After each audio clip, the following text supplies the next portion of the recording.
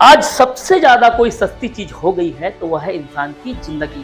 क्योंकि हम जितनी खबरें बना रहे हैं, आए दिन मौत, घटनाएँ, हत्याएँ और इसे लेकर जितने भी ये प्रकरण होते हैं, उससे पता चलता है। क्योंकि हम आज जिस प्रकरण को बताने जा रहे हैं, उस प्रकरण के पीछे एक वाक्य छुपा है। उस वाक्य के पीछे हमने एक बात भी कहनी चाहिए कि सारी खुदाई एक तरफ़ और जोरू का भाई एक तरफ़। ये खबर जैसे जैसे आपको आगे रन करेगी, वो आपको समझ में आ जाएगा कि हमने क्यों ऐसा कहा।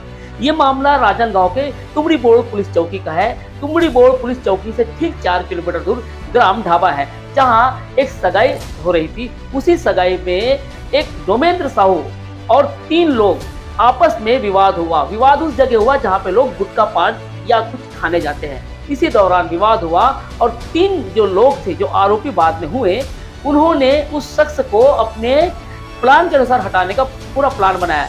लेकिन सगाई भी थी, सगाई में वो गए। इसके पहले उनसे जो विवाद हुआ डोमेंद्र का, उन्होंने डोमेंद्र को जान से मार दिया, पत्थर से सिर कुचल दिया, ऐसा बता रहे हैं एक प्रेस वार्ता के दौरान। ऐसा बात सामने आई है। उसके बाद नहर में उसको दबा दिया। उसके बाद वो तीनों शख्स जाकर सगाई में गए, सगाई में खाना खाए। उसके बाद उस डेड बॉडी को ठिकाने लगाना करके नहर से निकाल के बाकायदा साइकिल पे उस डेड बॉडी को बाकायदा उसे लाद कर एक जंगल की ओर चले गए और जंगल में जाकर उसे दफन कर दिए गए। उसके ठीक बाद अपने अपने काम पे लग गए। लेकिन हम आपको और एक गौर करने वाली चीज़ बता रहे कि जो तीन आरोपी में से मुख्य आरोपी था जिसके घर में सगाई हो रही थी वो महाराष्ट्र चले गया क्योंकि महाराष्ट्र में उसकी पेशी थी पुणे में।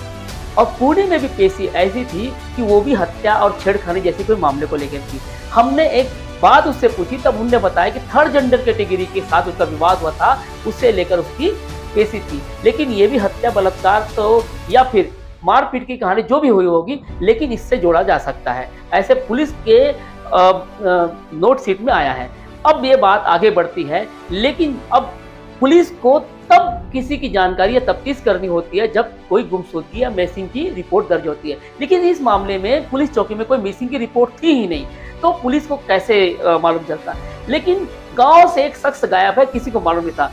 गाँव के सरपंच और जो मृतक है उसका जीजा। हमने कहा था कि जोरू का भाई एक तरफ़, क्योंकि जिस, जो शख्स की मौत हुई थी, उस शख्स ने अपने जीजा के कपड़े पहने हुए थे जब उसकी हत्या की गई थी। वो कपड़े मिले और दबी हुई लाश से पैर मिला, क्योंकि जिन्होंने इनका मर्डर किया था, वो नहर से ले जाकर जंगल में उसकी डेड बॉडी को दबा दिए। पूरे दो महीने के बाद जब पैर दिखा और उसे कपड़े मिले, तब जीजा ने उसकी शिनाख्त की कि ये मेरा शाला है। तब जाके पूरा धीरे धीरे वाक्य खुला और उसके ठीक पहले जो तीन आरोपी है, तीन आरोपियों ने मृतक का मोबाइल भी लेकर उसे बेच दिया था। तो दो लोग इस हत्याकांड को छुपाने के लिए साक्ष्य जैसे हुए, उसे भी पुलिस ने अंदर कर दिया। मतलब पाँच लोगों की गिरफ्तारी हुई, लेकिन ओवरऑल ये माना जा सकता है कि किसी गुटके के विवाद को लेकर या किसी विवाद को लेकर किसी की हत्या कर देना ये कहाँ सक जायज़ है? किस मानसिकता को दर्शाता है। अब इसीलिए कह रहे हैं हम कि आज सबसे ज़्यादा कोई सस्ती चीज़ हो गई तो इंसान की ज़िंदगी। बहरहाल हम आपको बता दें, इसे लेकर आज प्रेस वार्ता की गई। प्रेस वार्ता पे राजनांदगांव के पुलिस अधीक्षक साहब ने सारा चीज़ खुलासा किया और लोगों को अवेयर रहने के लिए कहा। इस खबर में मेरे साथ कविशत साहू है। ये तुमड़ी बोर्ड चौकी का एक बड़ा अज्ञात शव का मामला हम लोगों के पास आया था 26 तीन 2024 को एक अज्ञात शव ग्राम कोका अंगियारी पाट की पहाड़ी के नीचे जंगल में गड़ा मिला था। इसको गाँव के लोगों ने देखा और उसके बाद तुरंत पुलिस को सूचना दी।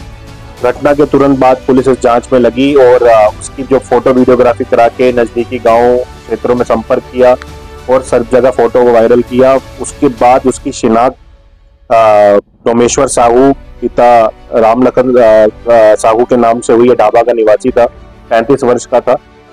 इसकी शिनाख्ती के बाद तुरंत इसकी जाँच में पुलिस जुट गई और सभी तरह के एविडेंस चाहे वो टेक्निकल एविडेंस हो, चाहे वो ह्यूमन इंट हो। इससे पहले भी एक मामले में जो मोहारा का मामला था, उसमें ह्यूमन इंट का काफ़ी अच्छा उपयोग किया गया था।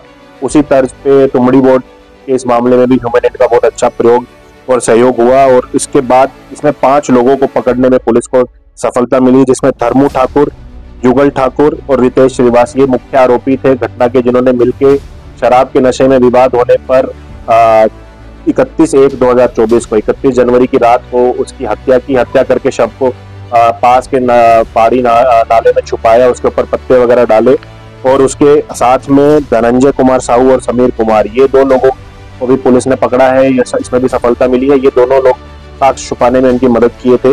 इन सभी को आज विधिवत न्यायिक रिमांड पर भेजा जाए